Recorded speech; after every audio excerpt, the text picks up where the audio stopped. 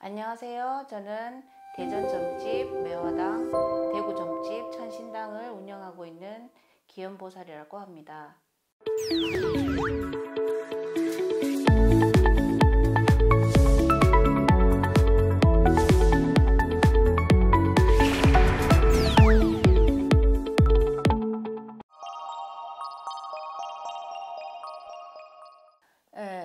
이, 이것도 하나의 직업이에요. 이게 구력에 상관이 있는 게 아니고 내가 오랜 세월 지속적으로 했다는 거는 일반 사람들의 직업을 갖는 거하고는 훨씬 다른 부분들이 있어요. 예, 다른 부분들이 있기 때문에 사람들이 생각할 때 뭐 애동이다, 많이 하신 오래되신 만신이다 이렇게 나눠지긴 하는데 어떤 형태든지 이- 여기에 관해서는 정해진 게 없어요.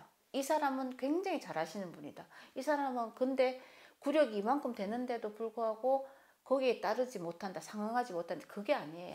그냥 본인들의 노력에 의해서 얼마나 이 길을 그냥 바르게만 그 길을 갔다고 자부할 수 있을 때만 내가 어느 정도까지 이 할아버지 길 갈 때 이게 정당하다고 봐요.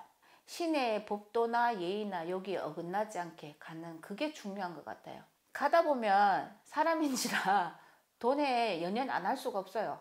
먹고 살 것도 없는데 갑자기 뭐, 뭐 어떻게 하라 이거는 안 되거든요. 돈이 우선시 되는 시대가 됐기 때문에 저희들도 마찬가지입니다. 아무것도 없이 빈손으로는 시작할 수가 없어요. 또 없이 시작하다 보면 자꾸 마음이 딴 데로 움직이기도 쉬워요. 어떻게 하든지 보면 한 마음을 가지고 간다는 거는 조금 힘들어요. 사실은 솔직히 말하면 이런 방법도 해봤다가 저런 방법도 해봤다가 저희도 이제 투자라는 걸또 하고 그게 모든 게 요 한도 내에서 해야 돼. 벗어나지는 않아야 돼요. 그 사람들한테 해가 된다든지 본인한테 이걸 했을 때 죄의식을 갖는 것이라든지 책임감 없이 행한다든지 이것만 없으면 되는 것 같아요. 근데 요즘 그게 잘 안 되죠. 실제적으로 잘 안 됩니다. 그게 된다 하는 그건 좀 거짓말이라고 봐요 저는.